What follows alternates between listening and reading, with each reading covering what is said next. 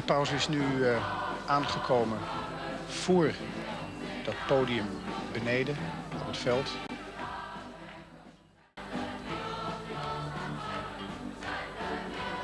Over naar Amersfoort. Het commentaar ter plaatse is van collega Joost Middelhoff. Ja, goedemiddag dames en heren. Eigenlijk al bijna goedenavond. Het is inmiddels bijna tien voor zes. U bent rechtstreeks verbonden met het Eemland College in Amersfoort. Zojuist op die kaart zag u waar dat college ligt, aan de buitenkant van Amersfoort. Vlak naast het klooster van Onze Lieve Vrouw ter Eem, waar de paus vanavond zal slapen. En van waar hij morgenochtend naar Schiphol vertrekt om dan naar Luxemburg door te reizen.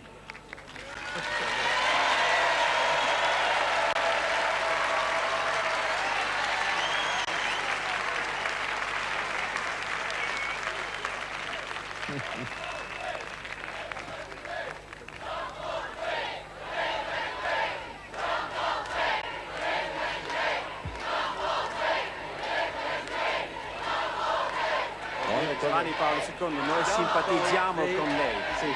Wir leben mit Ihnen, mit. Amen. Kijk eens, aartsbisschop Simonus vertaalt. Jan Paul II. Leven mee. Laat het hoeven, ze vertalen allebei wat op dit moment gescandeerd wordt Leven mee. op het voetbalveld. Kijken wat de paus terugzegt.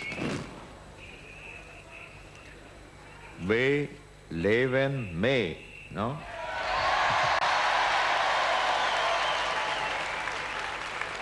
Jan, Jan Paul, John Paul, Jan Paul, John Paul II. Jan Paul II. Jan Paul. Wij leven met u mee. Jan Ah. Ah, goed, goed. Ja, Hier ontstaat dan die Ja. communicatie tussen twee, tussen één paus en een heleboel jongeren. Hier houdt paus Ja, ja. Johannes Paulus II van. aartsbisschop had gezegd, Jan Paul II, we, we leven met u, met u mee. Uitstekend. Het Nederlands beheerst hij. Zo.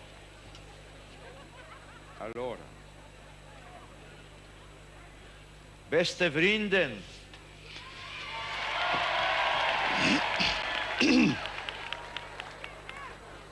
en vriendinnen.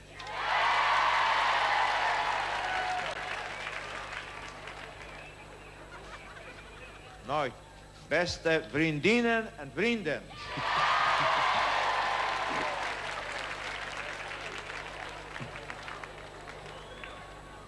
Mijn bezoek in, aan Nederland loopt te einde. Ja. Op de laatste dag van mijn verblijf mag ik in jullie midden zijn. En daar ben ik erg blij om.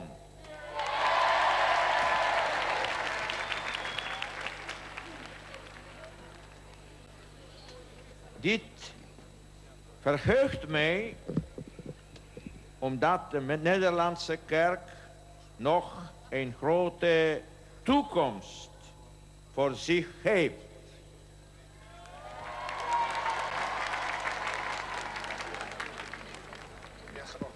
En die toekomst kan alleen maar op jullie steunen.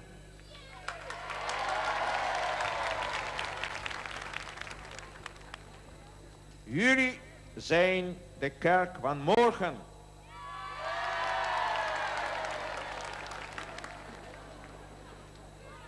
Terecht voelen jullie je daar trots op.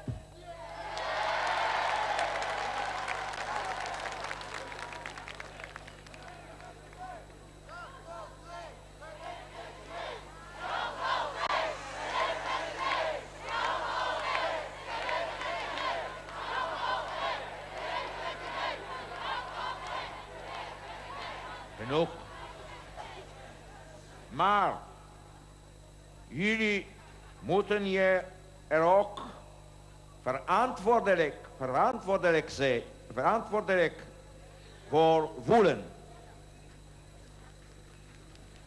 Christus verlaat zich op jullie, die de generatie vormen van diegenen die volwassen zullen zijn op de drempel van het derde millennium.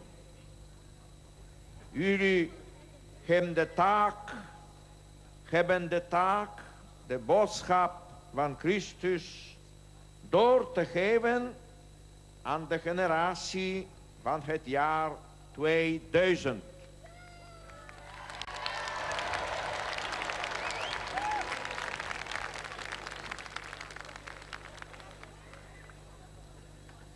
De wijze waarop wij hier nu samen zijn, zal het niet ieders instemming hebben. Ik weet dit uit heel veel opmerkingen welke jullie mee gestuurd hebben tijdens de voorbereiding van dit pausbezoek. Velen van jullie hebben mij geschreven dat zij mij rechtstreeks contact met mij zouden, zouden willen hebben. Laat mij eerst zeggen dat ik oprecht dankbaar ben voor deze wens. Die mij erg blij maakt. Weet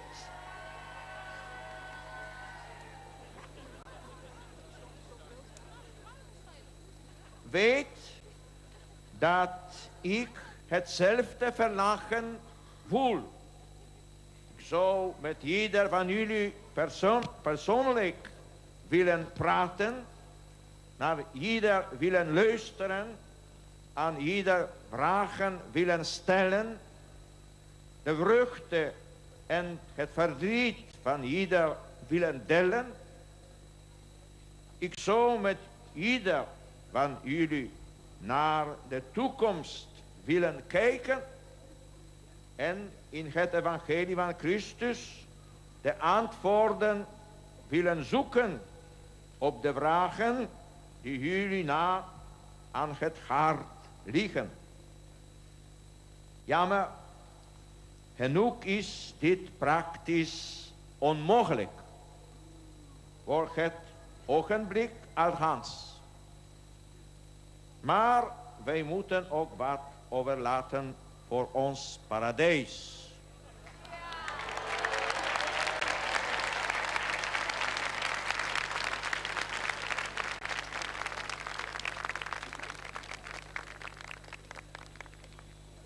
Ik ben jullie erg dankbaar voor al de vragen die jullie mij gestuurd hebben. Daarmee hebben jullie gezocht naar een vorm van dialoog die voor het ogenblik mogelijk is. Jullie vragen zijn heel belangrijk, want jullie hebben ze zeker gesteld uit bezorgdheid voor jullie kerk hier in Nederland en voor het geloof dat jullie moeten doorgeven. Als jonge mensen geen vragen meer stellen, zijn zij geen jonge mensen meer.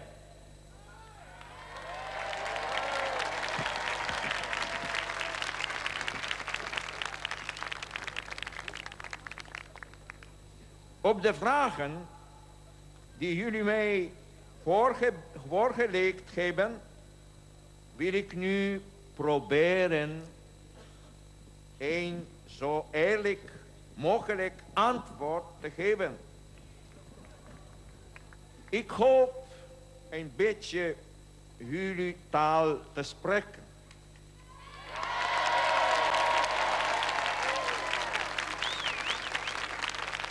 Een beetje, een beetje. Beetje, beetje. Een beetje. Pochettino.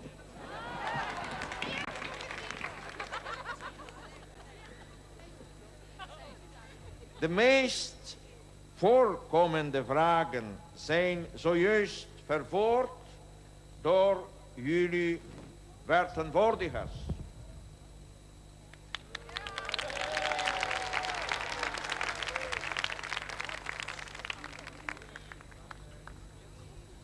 Jullie hebben mij gevraagd of ik jullie een woord van bemoediging en hoop zou willen meegeven. Ik kan deze vraag heel goed begrijpen. Jullie stellen die omdat jullie dagelijks geconfronteerd worden met problemen welke haast niet op te lossen zijn. Op te lossen zijn. Mensen dreigen ontmoedigd te worden als ze zien dat het probleem van de honger alleen maar groter wordt. Als de kloof tussen rijk en arm niet gedicht wordt, maar eerder, eerder breder wordt als de wedloop der bewapening ieder jaar meer geld verslindt. Als mensen onderdrukt blijven en niet kunnen uiten wat zij denken en geloven. In het diepst van jullie jonge hart lijden jullie onder het onrecht dat mensen over heel de wereld wordt aangedaan.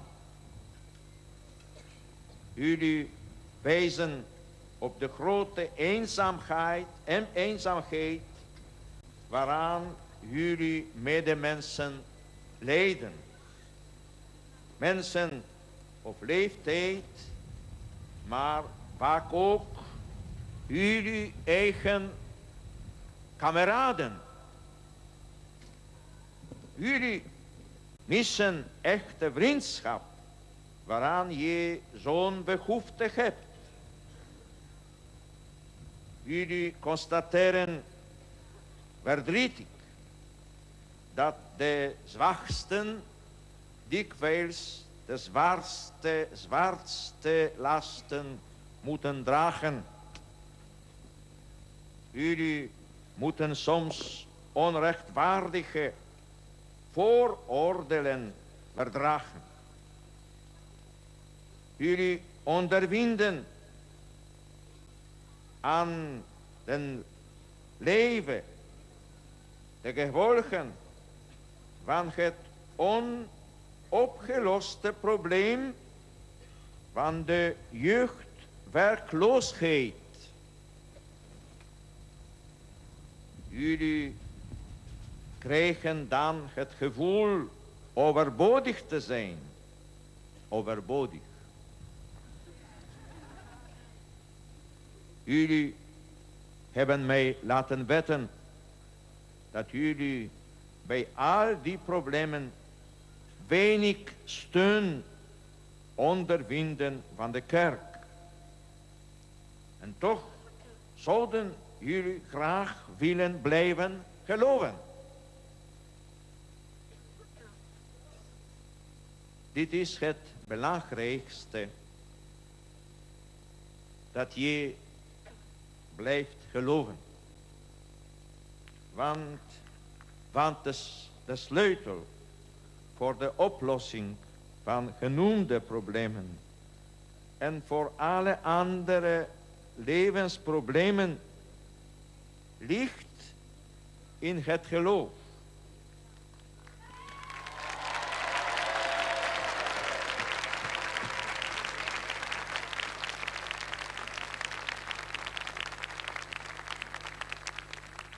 Dat was de ervaring van de apostel Johannes, die aan de eerste generatie christenen toevertrouwde.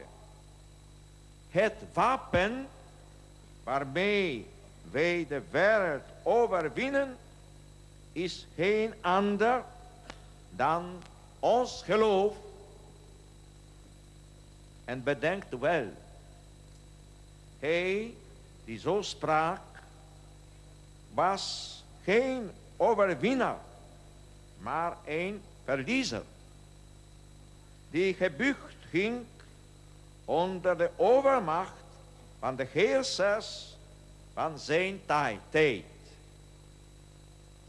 En toch was zijn uitspraak waar. De overwinning van het geloof wordt behaald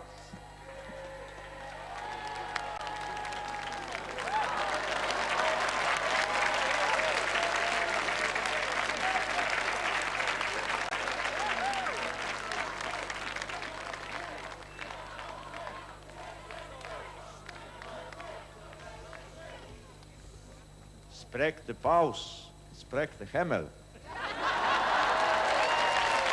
En de paus doet weer op het zonnetje wat achter de wolken vandaan kwam. Dat begrijpt u.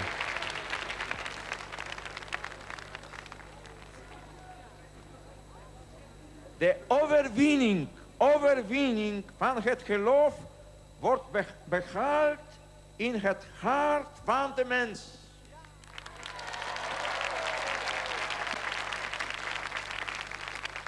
Door de mogelijkheid die hem in Christus gegeven wordt om van het kruis een weg naar verrezenis en leven te maken. Zij wordt behaald in de geschiedenis van de mensheid door de geleden, geledelijke omvorming van de opvattingen, van de gewoonten en van de structuren. Dankzij het doordringen van de beginselen van het evangelie in de maatschappij, dat een vrucht is van aller inzet. Mijn eerste antwoord is dus, hebt de moed om in Christus te geloven.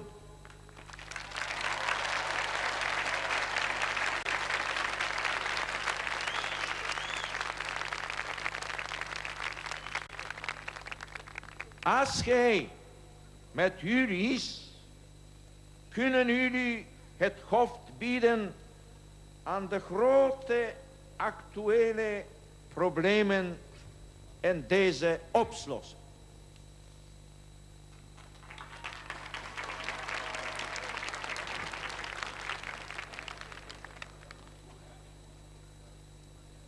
Jullie hebben mij gevraagd om concrete aanwijzingen voor enige van deze problemen.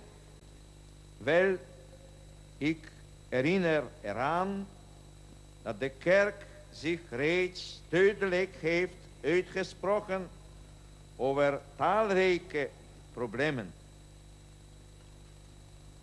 Zij voelt zich verplicht aan de mensen de eisen van de juiste zedelijke orde voor te houden en de schendingen hiervan aan te klagen, van welke kant zij ook mogen komen.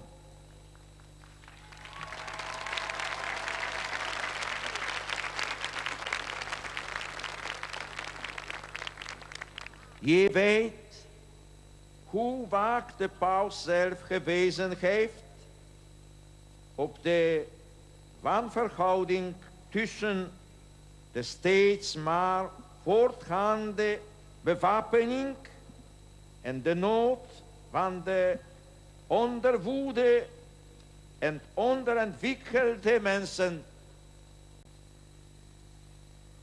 Vele vele malen, vele malen heb ik de maatschappij, de regeringen, de volksvertegenwoordigers en de werkgevers gewezen op de plicht het probleem van de werkloosheid en in het bijzonder dat vraagstuk, vraagstuk van de jeugdwerkloosheid aan te pakken.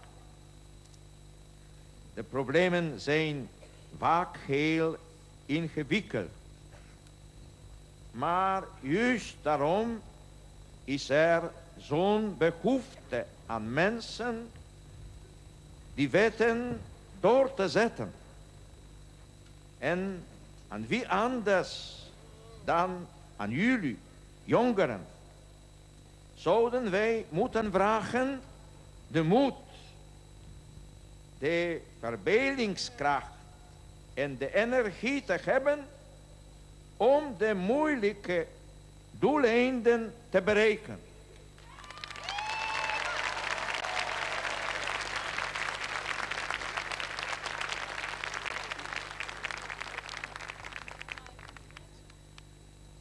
Jullie moeten het kritische geweten van de maatschappij blijven.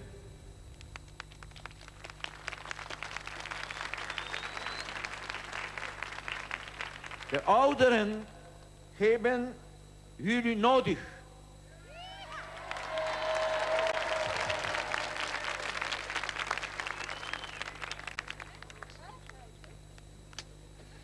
Laat hen niet in de steek.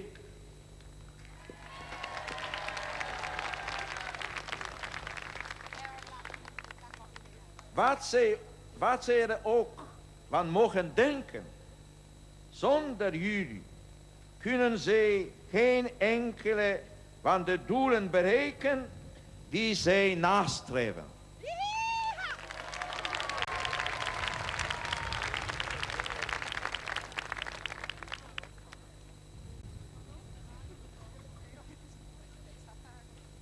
En de paus is ook een eh, oude mens.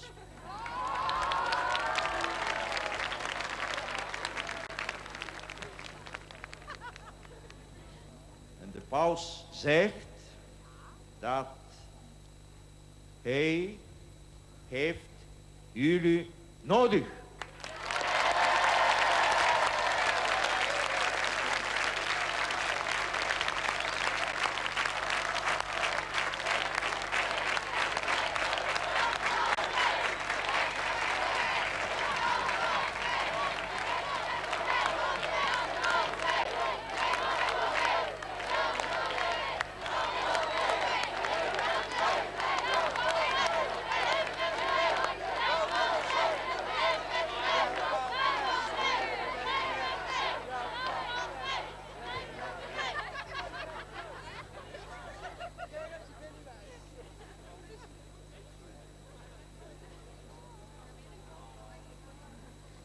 Jullie hebben nog meer grieven en bedenkingen tegen de kerk.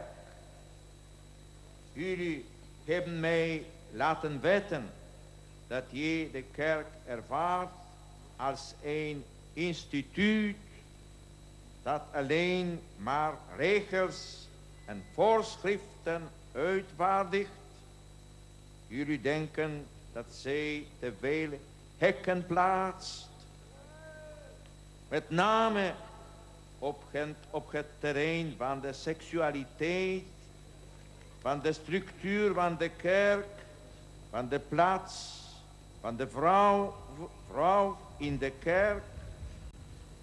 En je komt tot de conclusie dat er een diepe kloof gaat tussen de blijde boodschap van Christus en de druk die die strengheid van de kerk op jullie legt.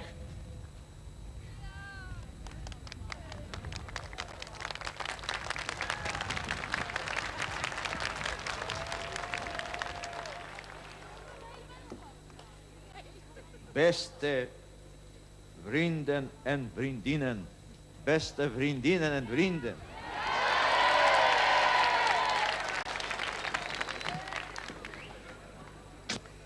Staat mij toe vrij uit te spreken.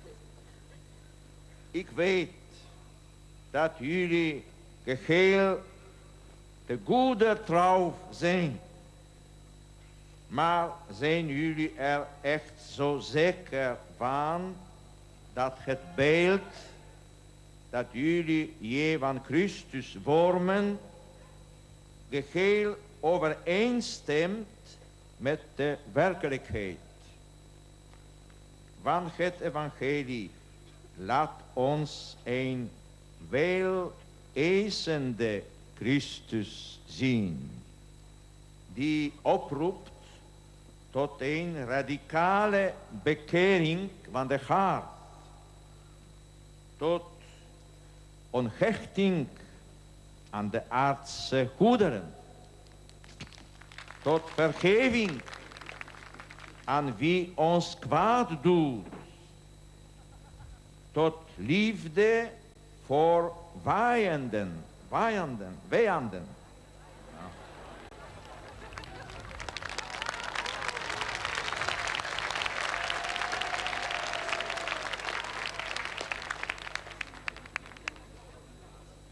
tot het geduldig verdragen van onrecht.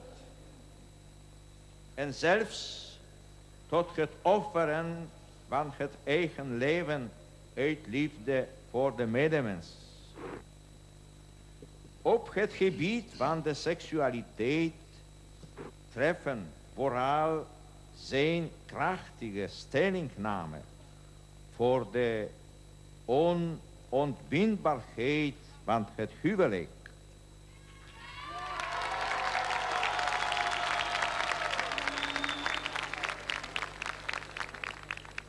en de veroordeling die hij uitgesproken heeft over de echtbreuk, ook al wordt deze alleen maar in het hart gepleegd.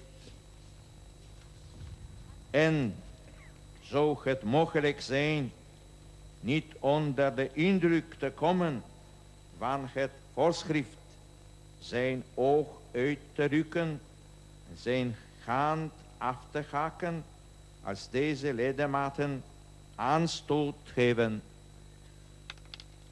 Zo het met deze gegevens eigenlijk het evangelie voor ogen van werkelijkheid zien, getuigen, als, als men zich een Christus voorstelt die toegeeflijk is op het gebied van de huwelijksliefde tegenover abortus, seksuele relaties voor of buiten het huwelijk of homoseksuele relaties.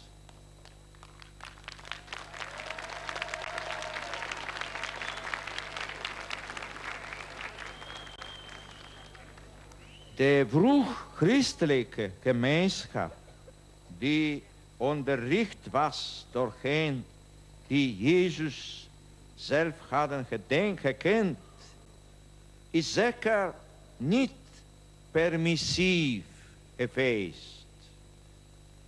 Het kan hier volstaan te verwijzen naar de talrijke teksten uit de brieven van Paulus die over deze onderwerpen handelen. De woorden van de apostel zijn duidelijk en streng. En het zijn woorden die door God geïnspireerd zijn. zijn. Zij bleven maatstaf voor de kerk van alle tijden.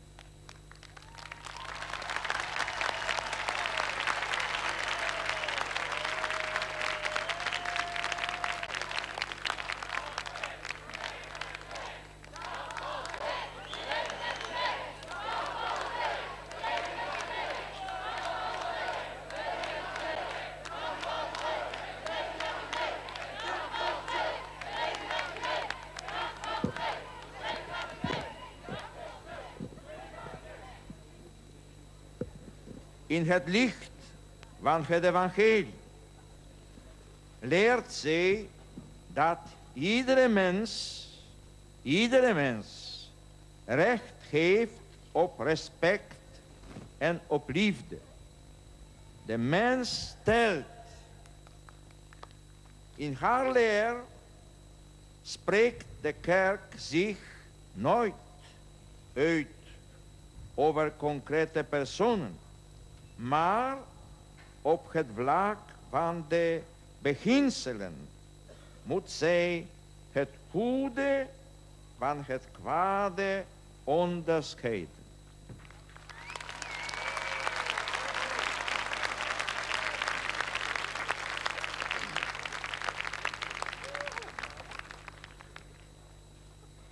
Toegeeflijkheid maakt de mensen niet gelukkig niet gelukt.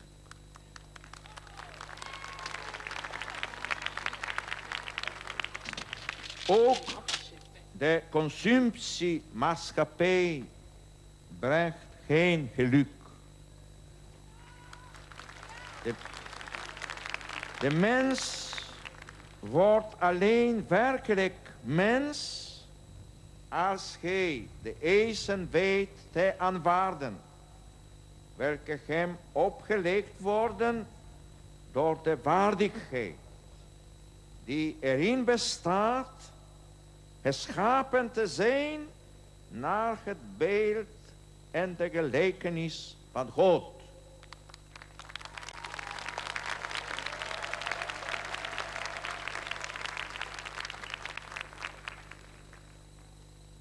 Als de kerk onwelgevallige uitspraken doet, dan doet zij dit dus omdat zij zich hiertoe verplicht weet. Zij doet het uit eerlijkheid. Maar, maar, is het dan wel waar dat het evangelie een blijde boodschap is? Ja, dat is heel zeker. Heel zeker.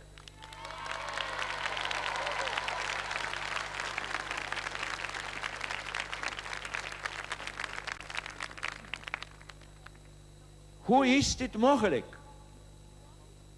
Het antwoord is gelegen in één enkel woord. Dat kort is, maar waarvan de inhoud zo wijd is als de zee. Dit woord is liefde.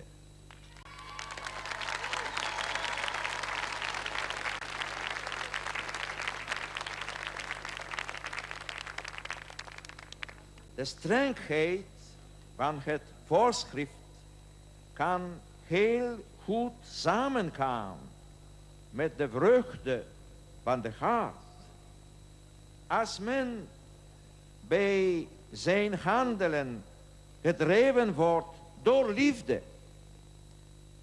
Wie lief heeft, is niet bang voor het offer. Ja, hij zoekt juist in het offer het overtuigend bewijs van de echtheid van zijn liefde.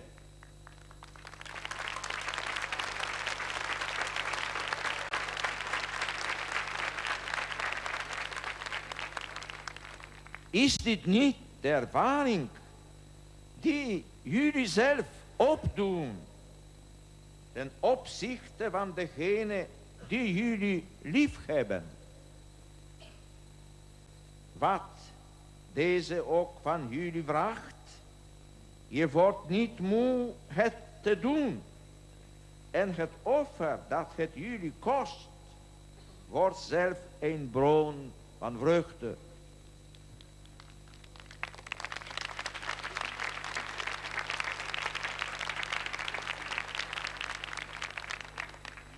Dat is, beste jongeren, het geheim van een consequent en blij christenleven. Dit geheim is gelegen in een oprechte, persoonlijke en diepe liefde voor Christus. Het is mijn, mijn wens dat ieder van jullie zo'n liefde mag vinden.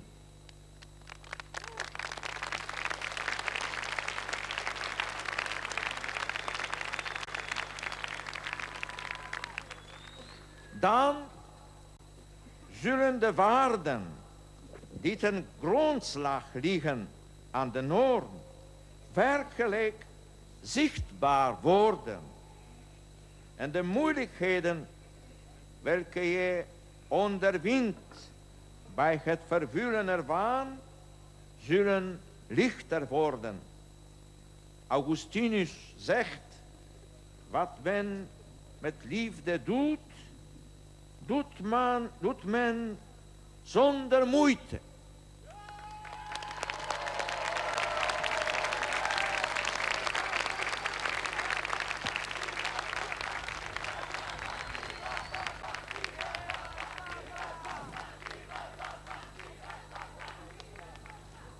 Wat men met liefde doet, doet men zonder moeite. Of men bemint de moeite zelf. Jongelui, dit is dus mijn antwoord. Houd van Christus en je zult de eisen die de kerk jullie in zijn naam stelt aanwaarden. Omdat het eisen zijn van God, de schepper en de verlosser van de mens. Aanvaard deze eisen in jullie leven. En jij zult er de waarde van ontdekken, de waarde ontdekken.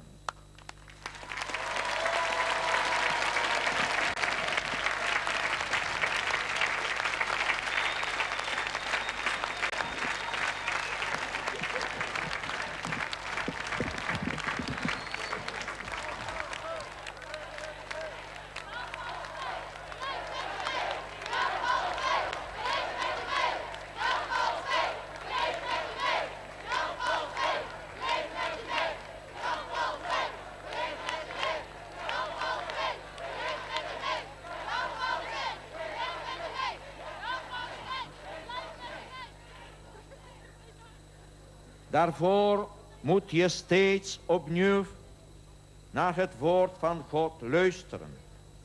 En de verrezen Heer dikwijls ontmoeten in de Eucharistie. In verband hiermee raad ik jullie aan de waarde van het sacrament van de biecht niet te onderschatten.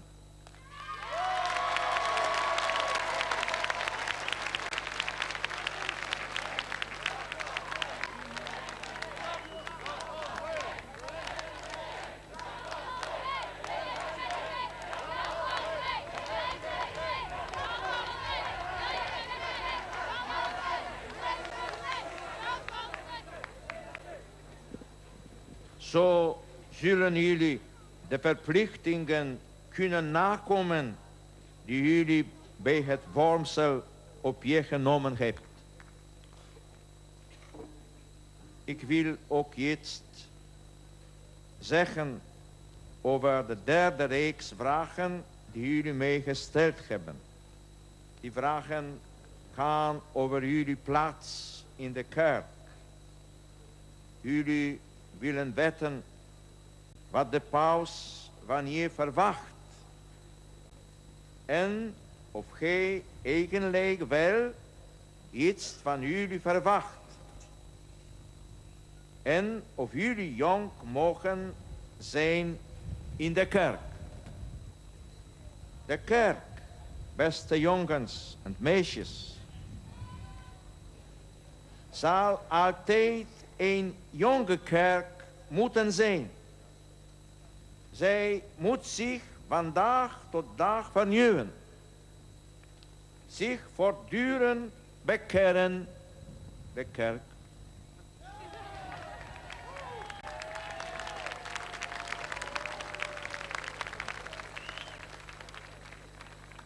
En de paus ook.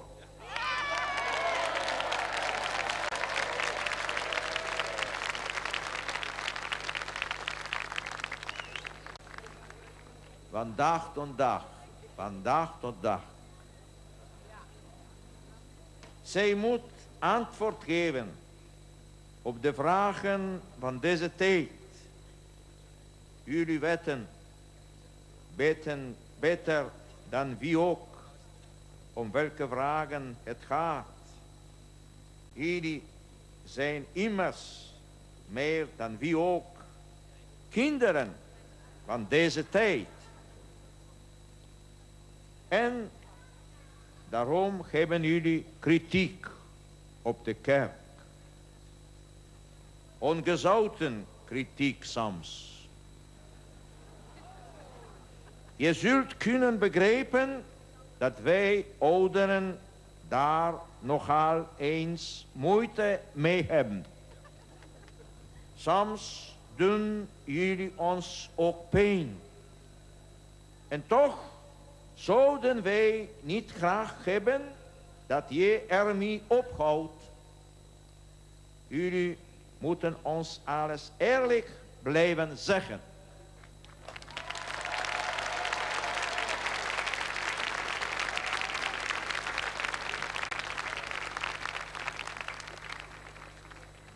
Maar jullie kritiek moet voortkomen uit echte bezorgdheid voor de kerk. Want de kerk, want de kerk moet doen wat Christus van, van haar verwacht. Daar komt het vooral op aan. De kerk heeft zichzelf niet uitgewonden. Zij weet dat zij de vrucht is van een uitvinding van de liefde van Christus. Daarom is zij er alleen op bedacht de wil van haar Heer zorgvuldig te bewaken en met de bijstand van de geest steeds beter te begrijpen, om ten volle de, de heilbrengende doeleden ervan te verwezenlijken tot welzijn van de mensheid. Zij is, de kerk, is ervan overtuigd dat er geen enkele reden is waarom iemand die een taak heeft in de kerk afgunstig zou zijn of iemand die een andere taak heeft. De verscheidenheid van taken geeft immers geen aanleiding tot superioriteit van de een boven de ander. Men moet er alleen naar streven superieur te zijn in de liefde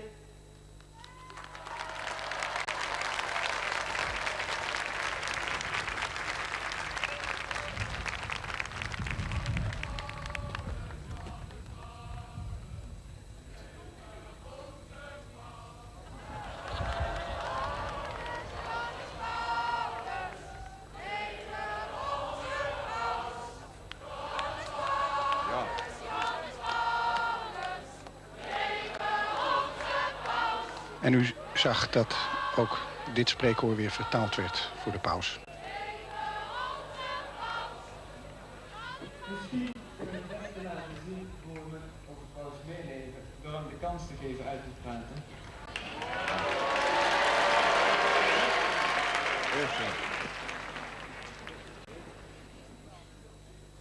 Eh, men moet er alleen nastreven superieur te zijn in de liefde. In het rijk der hemelen zal er alleen de hiërarchie, hiërarchie van de liefde zijn. Van de liefde.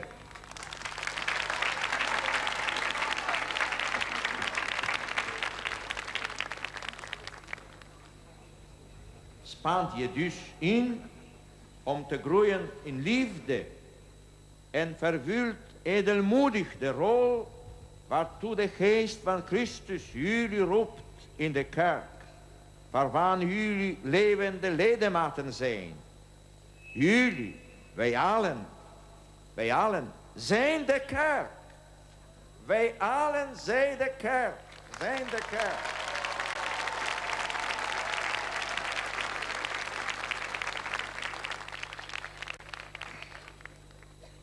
Daarom nooit als een buitenstaander over de kerk, maar steeds als een overtuigd betrokkene. Spreekt vooral nooit tot of over de kerk, alsof zij voor jullie niet bestaat, of jullie overschierig laat, of nog erger, een vijand zou zijn. Zij is een moeder. Omdat zij jullie heeft voortgebracht voor Christus. De heilige moederkerk.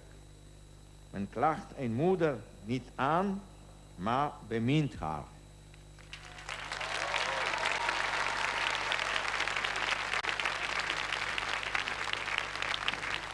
Nou, nee. Met een moeder spreekt man vertrouwelijk. En gaat zijn hart openen voor een moeder. Om samen met haar de last van het leven te dragen. De zorgen van het gezin. De kerk wacht op jullie zoals, zoals jullie zijn. Ik wil jullie ook vragen nooit zo tot de kerk te spreken dat je niet meer kunt luisteren. Sluit je niet af, blijft met elkaar verbonden. Wij moeten elkaar steunen.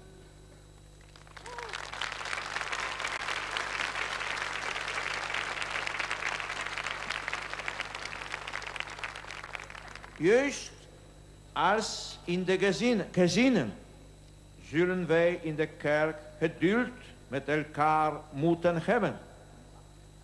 Jullie met onze misschien de bedachtzame gang, wij met jullie onstuimigheid, onstuimigheid. Wij willen eerbied geven voor elkaar. Gelooft mij, wij kunnen jullie niet missen. Jullie zijn onvervangbaar.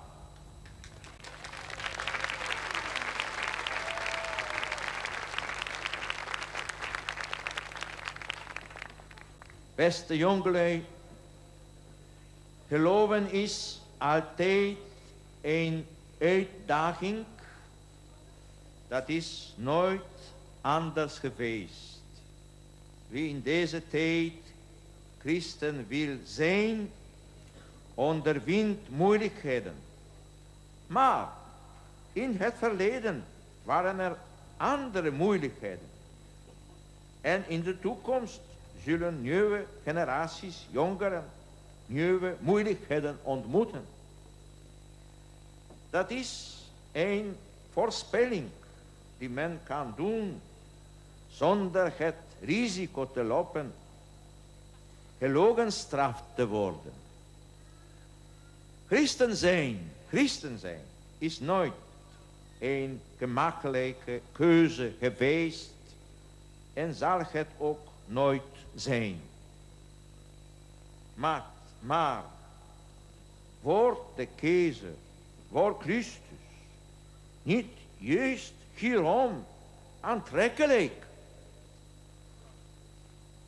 Wat moeilijk is, vraagt moed. En juist in de moed komt de typische adel van de mens tot uitdrukking. Jullie moeten ook niet vergeten dat in andere landen van de wereld jonge mensen een zeer hoge prijs betalen voor het getuigenis van hun evangelisch leven. Desondanks lachen en zinken zij graag. Hun ervaring leert ons dat de vruchten opbruist uit het offer. Als dit uit liefde voor Christus gebracht wordt. Ik hoop dat dit ook jullie ervaring mag zijn. Mag zijn.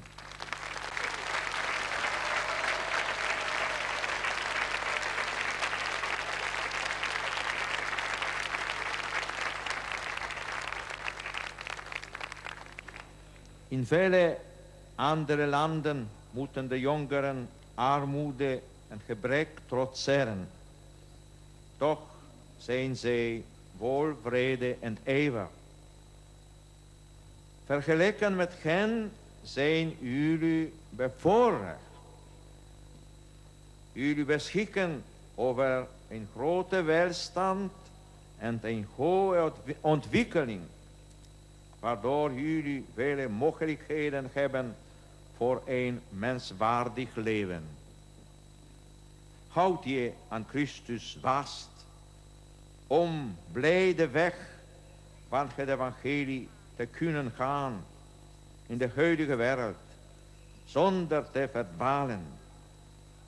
Houd je ook vast aan de macht Maria, de moeder van Christus en onze moeder.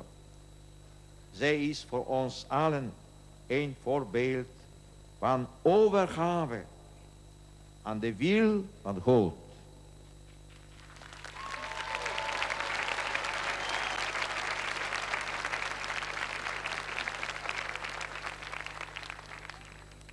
Samen met haar zullen jullie welig en volvruchten de toekomst tegemoet kunnen gaan. En dat is mijn wens voor u.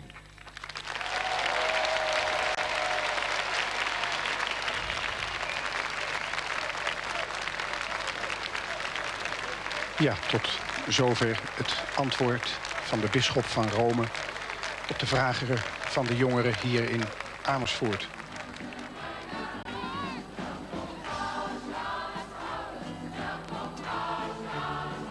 De pauze is nu uh, aangekomen voor dat podium beneden op het veld.